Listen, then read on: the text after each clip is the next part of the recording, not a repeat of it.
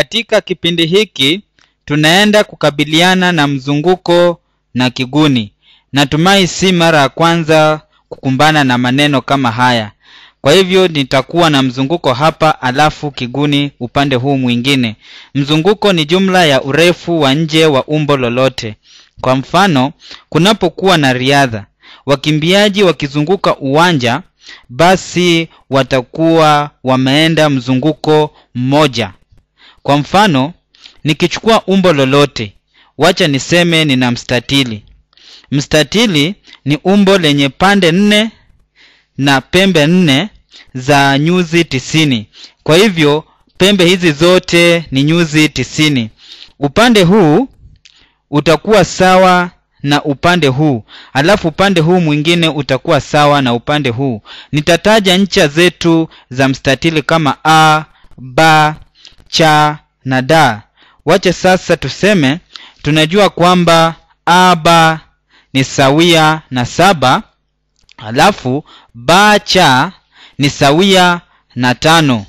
Sasa tunataka kutafuta mzunguko wa mstatili wetu a ba cha da.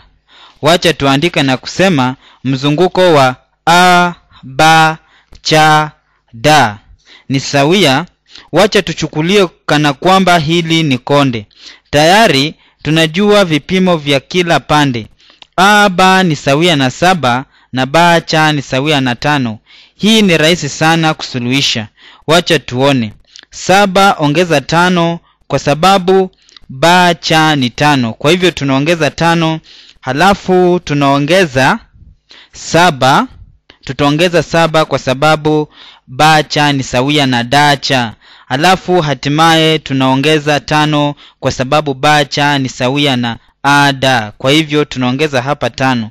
Tuna saba tano ambayo ni kumi na mbili halafu ukiongeza kumi na mbili tunapata ishirini na nne. Wacha sasa tuseme tuna mraba. Mraba ni namna fulani spesheli ya mstatili.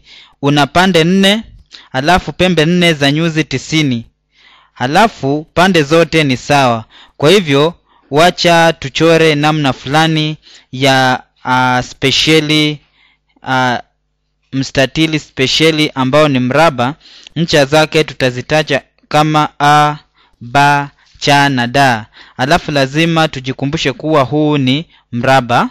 Tuchukulie kuwa mzunguko wa mraba wetu ni thelathini na sita. Kwa mfano tu, si eti tumekokotoa, bali tunakisia. Tuseme mzunguko wake aa, ni thelathini na sita. Halafu aa, pande zake zote ni x x x kutokea kwa a hadi kwa d. Tunataka kupata mzunguko hapa.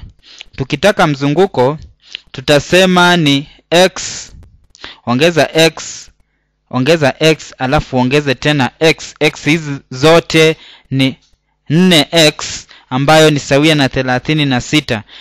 Tukigawa pande zote na nne tutapata bila shaka tisa. Kwa hivyo tutagawa hapa na nne halafu hapa tugawe na nne na tutapata ni tisa ambayo ni x. Hivyo basi mraba wetu ni wenye urefu wa tisa pande zote nne. aba ni tisa, bacha ni tisa, dacha ni tisa na ada ni tisa. Tumemaliza sasa kukabiliana na mzunguko.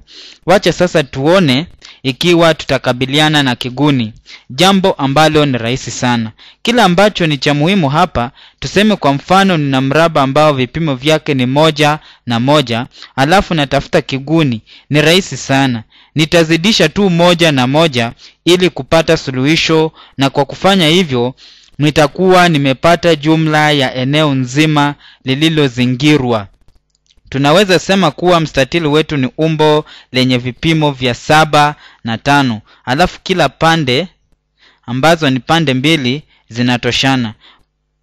Na kwa mraba wetu tutasema kuwa pande zake zote ni sawa. Kwa hivyo huu mraba wetu ni moja a na moja, tutasema moja zidisha na moja mraba.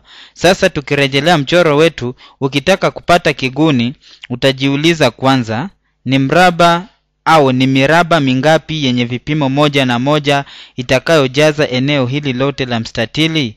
kwa hivyo wacha tujaribu kuchora miraba hii yote kwenye mstatili wetu ambao ni a b, ch, d. kwa hivyo kuelekea chini tuna mistari saba kwa sababu kipimo chake uh, ni saba. Kwa hivyo tutachora mistari saba kuelekea chini. Mistari ninayochora kwa rangi nyeupe. Bila shaka hatutasahau upande wa kuelekea kushoto. Kwa hivyo kwenda upande wa kushoto tutachora mistari mitano.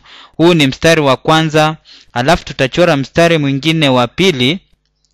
Mstari wa pili baada huu wa kwanza mstari wa pili utakuwa hapa alafu mstari wa tatu hapa mstari wa nne hapa na bila shaka ule wa tano ni huu wa mwisho. Hii ina ufahiwa kwa sababu tutakuwa na moja hapa moja moja moja kuelekea juu na hata upande huu ambao ni tambarare tuna moja uh, kuelekea upande huu wa kushoto. Usisahau kuwa uh, ukihesabu tuna jumla ya miraba thelathini na tano. Wacha nikuonyeshe au nikueleze namna huu ni ukweli. Uh, ukihesabu uh, utahesabu uh, kutokea huku kutoka kwa cha kwenda kwa da utapata ni saba alafu ukielekea juu utapata ni tano. Kwa hivyo tano ukizidisha na saba bila shaka ni thelathini na tano. Kuto, kutokana na namna tulivyofanya kwenye mstatili wetu wacha tuseme tukiwa na mstatili mwingine halafu tuagizwe kuwa tutafute kiguni tutazidisha mielekeo miwili tuliyopewa. Kwa mfano tuseme na mstatili wa namna hii ambao uh, urefu wake ni mbili alafu kimo ni nusu. Uh, tukifanya vizuri utagundua kwamba uh, baada ya kukokotoa utapata ni moja kwa sababu nusu ukizidisha na mbili utaishia kuwa na moja. Tukichukua nusu mbili uh, utapata nusu hizi mbili ukijumlisha zitakuwa moja na nilivyoonyesha hapa utaona kwamba ni ukweli. Tunajua pande zote ni sawa. Kwa hivyo tutachora uh, mstatili mwingine ambao tutataja kama x ya za na sa na ni namna fulani spesheli ya mstatili na ukiona vizuri kiguni tukitaka kupata kiguni tutafanya namna tulivyofanya mwanzoni. Tutasema mbili ukizidisha na mbili utapata na nne. Na ukiangalia mbili ukizidisha mbili ni sawia tu na kusema mbili mraba ambayo ni mbili kwa kipeo cha mbili na jibu lake bila shaka ni nne.